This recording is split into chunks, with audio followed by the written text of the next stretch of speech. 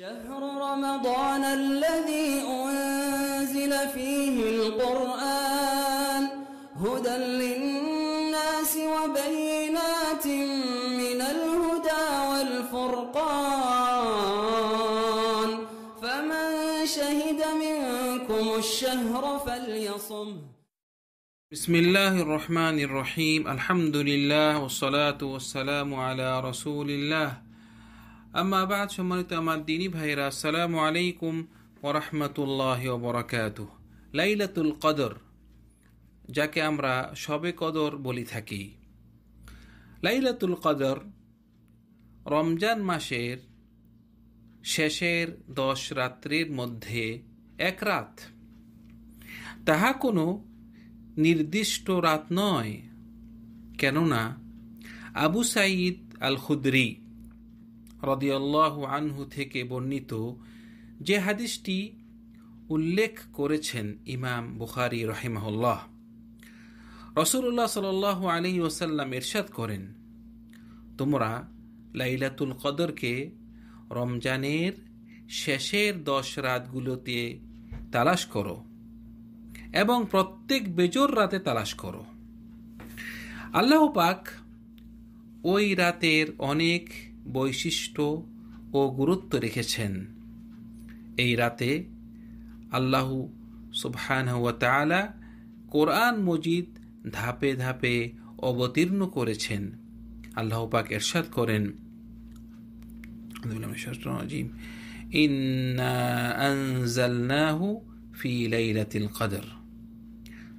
সুয়াতুল কদরে আল্লাহ সুবহান ওয়া তাআলা বলতেছে, আমি কোরআন মজিদকে কদরের রাত্রে অবতীর্ণ করেছি। এই রাত অতিশয় এই রাত অতিশয় মুবারক রাত। এই রাতে আল্লাহ পাক সারা বৎসরে যাহা কিছু হবে, তাহা নির্ধারণ করেন। আল্লাহ সুবহানাহু ওয়া করেন, আউযু বিল্লাহি মিনাশ إنا أنزلناه في ليلة مباركة إنا كنا منذرين فيها يفرق كل أمر حكيم الله سبحانه وتعالى سورة الدخانের তিন এবং চার নম্বর আয়াতে আল্লাহ সুবহান তাআলা বলতেছে, আমরা উহাকে এক বরকতময় রাত্রিতে অবতীর্ণ করেছি। নিশ্চয় আমরা সতর্ককারী। ওই রাত্রের, ওই রাত্রিতে প্রত্যেক হেকমতপূর্ণ বিষয়ের সিদ্ধান্ত করা হয়ে থাকে। এই রাত্রে ভালো কাজের সোয়াব এক হাজার মাসের ভালো কাজের সোয়াবের চেয়েও মর্যাদা সম্পন্ন। আল্লাহ পাক এরশাদ করেন, লাইলাতুল কদেরি খৈরুম মিন আলফি শাহর। কদরের রাত্রি হাজার মাস থেকে উত্তম। রসুল্লা সাল্লাহ আলী ওসাল্লাম রমজান মাসের শেষের রজনী সমূহে লাইলাতুল কদরকে তালাশ করতেন। অন্যান্য রাত্রের তুলনায়। এই রাত্রিসমূহে আবাদত ও বন্দিগিতে খুব সচেষ্ট থাকতেন।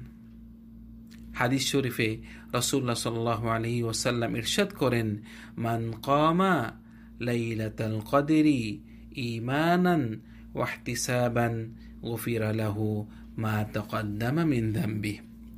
যে ব্যক্তি লাইলাতুল কদেরে ইমানের সহিত সোয়াবের আশায় জাগ্রত থেকে এবাদত করবে, আল্লাহ পাক তার পিছনের পাপ মাফ করে দিবেন। তাই মুসলিমদের জন্য প্রয়োজন যে সবে কদরের মানে কদরের রাত্রে এবাদত ও ভালো কাজে নিজের সর্বাত্মক চেষ্টা প্রয়োগ করা। কেননা, এর জন্য দুনিয়া ও আখেরাতে খুব উত্তম ও ভালো পুরস্কার নিহিত রয়েছে।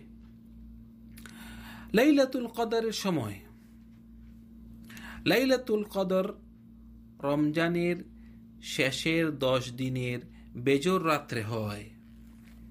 আয়েশা রদিয়াল্লাহ আনহার হাদিস দ্বারা প্রমাণিত যে রসুল্লাহ সাল আলহি ওসাল্লাম ইরশাদ করেন যে তোমরা লাইলাতুল কদরকে রমজানের শেষ দশ দিনের বেজোর রাত্রে তালাশ করো।